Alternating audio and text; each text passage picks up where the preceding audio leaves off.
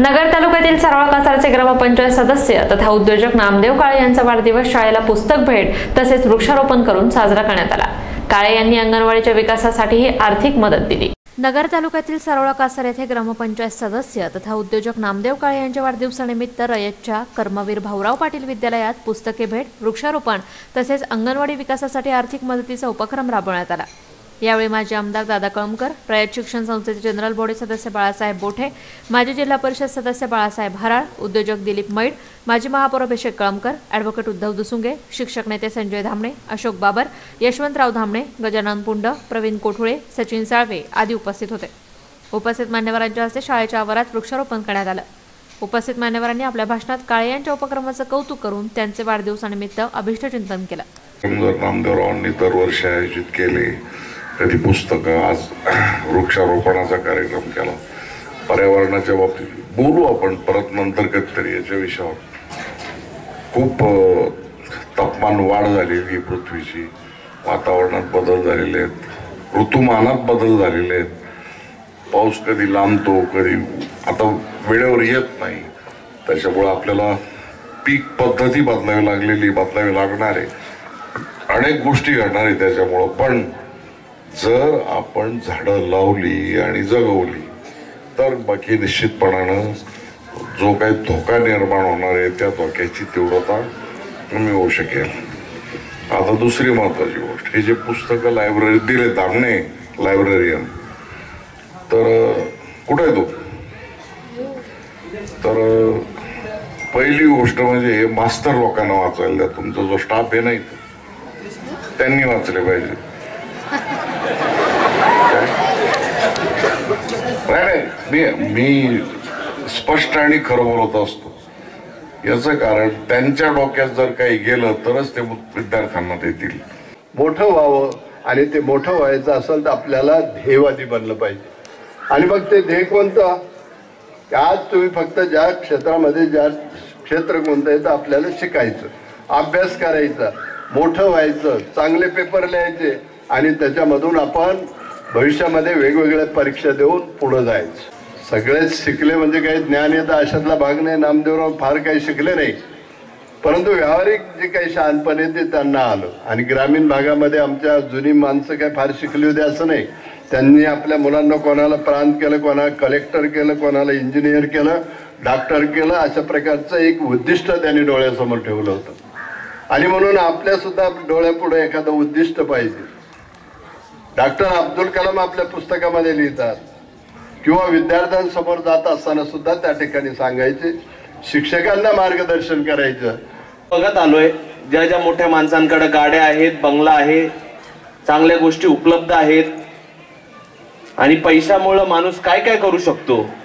पैशामुळं काय काय साध्य करू शकतो? या सगळ्या गोष्टी करण्यासाठी माझ्याही देखील कडं पैसे असले पाहिजे. मी देखील यशस्वी झालो पाहिजे. हे मी वयाच्या आठव्या वर्षी ठरवलं. आणि म्हणून कुठंतरी ते एका उद्योजकाच्याच हाताखाली व्यवसाय करायला लागले नोकरी करायला लागले. त्यांच्या मदतीने जिथं ते कामकाज बघितलं आणि त्या कामामधून हाच प्रयत्न केला हीच इच्छा बाळगली की आपल्याला देखील आपला एक स्वतःचा व्यवसाय अवघ्या काही वर्षामध्येच उभा करायचे आपल्या स्वतःच्या पायावर. आणि म्हणून ते होंडा सिटी गाडीमधूनच उतरले होते. आणि मला सांगितलं ही गाडी घ्यायची स्वप्न.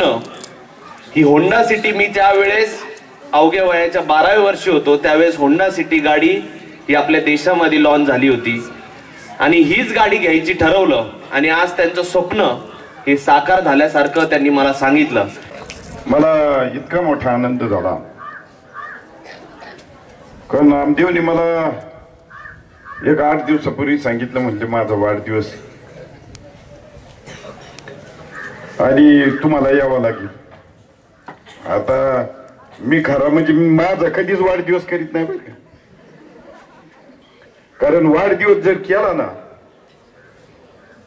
तर जो हुशार माणूस आहे त्याला दुःख होते एक वर्ष आपलं आयुष्य कमी झालं. आता ही फॅशन निघली. बाळच्या जन्मला तर दुसऱ्या वर्षी लगेच वाढदिवस. पण तो आई वडील तो विचार करीत नाही. आपल्या मुलाच्या वाढदिवसाला जेवढा खर्च होतो तेवढा खर्च जर आपण शाळेत दिला इमारत बांधायला दिली निधी किंवा गरीब विद्यार्थ्यांना शिकण्यासाठी काही आर्थिक मदत केली व्यायामा इतकं जीवन दुसरं काही नाही. काहीही नाही. आणि म्हणून मी तुम्हाला नवीन वर्षाच्या खूप खूप शुभेच्छा देतो. तुम्ही निश्चितपणे मी जे बोललोय त्याचं अनुकरण कराल. कराल ना? नक्की कराल? एकच घोषणा द्या. छत्रपती शिवाजी महाराज की अरे मुलींचा आवाज मोठा पाहिजे. मुलांचा आवाज मोठा आला. परत एकदा मुलींनी सगळ्यात मुलींनी एक आवाजामध्ये छत्रपती शिवाजी महाराज की। जय भवानी।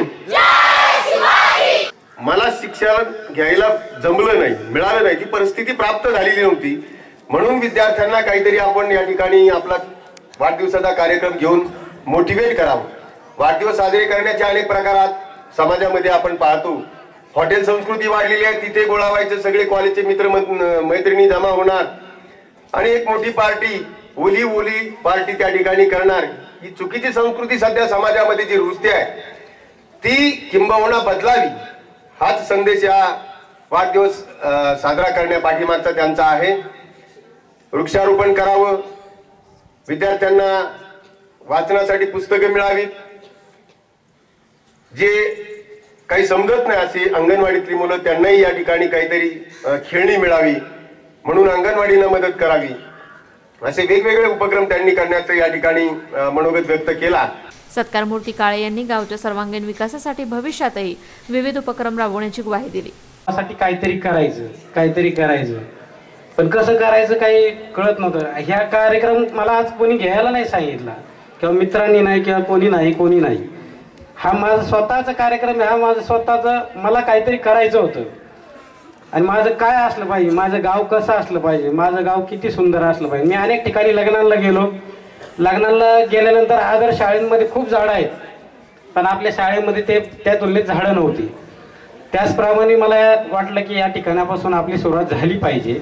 म्हणून रयत शिक्षण संस्थेमध्ये मी विचारलं आणि त्यांनी मला परवानगी दिली. त्या प्राचार्य सरांना मी खूप धन्यवाद देतो. त्याचप्रमाणे या गावासाठी मी यापुढेही आत्ता जसे कार्यक्रम केला आहे यापुढेही मी झाडांचा कार्यक्रम कायमस्वरूपाने करीन. अंगणवाडी सेविकांसाठी सुद्धा मी काहीतरी देव भेट दिलेली आहे. त्याचप्रमाणे पुस्तकं दिलेली आहेत. ती पुस्तकं विद्यार्थ्यांनी एकदा वाचले पाहिजे. कारण पुस्तकांमध्ये काय हे तुम्हाला कळल. तुमचा अभ्यास बारावीपर्यंतचे माझं फक्त चौतीस शिक्षण झालेलं आहे. पण मी तुम्हाला एम पी एस सीमधलं सगळं सांगेन की काय आहे, कोणतं पुस्तक कोणी लिहिलेलं आहे? काय केलेलं आहे? कारण मी वाचले माझी Mrs M P S C करते त्याच्यामुळे मला या सगळ्या गोष्टीची आवड आहे की माझ्या गावातला सुद्धा कोणीतरी मुलगा पुढे गेला पाहिजे तरुणी पुढे गेली पाहिजे. मुलांनी जास्तीत जास्त वेळ आपल्या अभ्यासामध्ये शाळेमध्ये सरांच्या शिक्षणाच्या माध्यमातून दिला पाहिजे जेणेकरून आपले शिक्षक हे गुरु असतात. कार्यक्रमाचं प्रास्ताविक सचिन साळवे यांनी केलं. नामदेवराव हे जरी ग्रामपंचायत सदस्य माझे मित्र जरी असले तरी खूप मोठे उद्योजक आहेत. त्यांचा इतिहास तुम्हाला माहिती आहे. नामदेवरावांनी दहा झाडं का लावली? याच्या मागचा उद्देश तुम्हाला खऱ्या अर्थानं समजायला पाहिजे. कारण ते शंभर झाडं हजार झाडं देऊ शकले असते. परंतु त्यांनी नुसती झाडं दहा दिली. परंतु त्याचं पाच वर्षाचं पालकत्व नामदेवरावने स्वीकारलं. नुसती झाडं लावणारी खूप नेते मंडळी आणि फोटोपुरती दिसणारी खूप आहेत. परंतु नामदेवरावांनी विचार केला की मी दहाच झाडं लावणार आणि दहाच झाडं मी पूर्ण आणणार. आणि पाच वर्षाचं पालकत्व नामदेवरावांनी स्वीकारलं. म्हणून ही धात झाडं दिली. खूप जणांना प्रश्न पडतो की धात झाडं का दिली? ते खूप देऊ शकला असता परंतु जगवण्याची लावण्याची जशी इच्छा आहे तशी जगवण्याची सुद्धा त्यांची ती इच्छा आहे. आताच्या वाढदिवसाचा वैशिष्ट्य जर पाहिलं तर परंतु खूप जण वाढदिवस साजरा करतात लग्नाचा मुलाचा मुलीचा. स्वतःचा असे खूप काही वाढदिवस महिना दोन महिन्यानंतर नेहमी टप्प्याटप्प्याने येतात. आपणही कार्यक्रमाला जातो. कार्यक्रमात शाळेतील शिक्षक विद्यार्थी ग्रामस्थ मोठ्या संख्येनं उपस्थित होते. प्रतिनिधी सचिन शिंदे महानगर न्यूज ब्युरो अहमदनगर.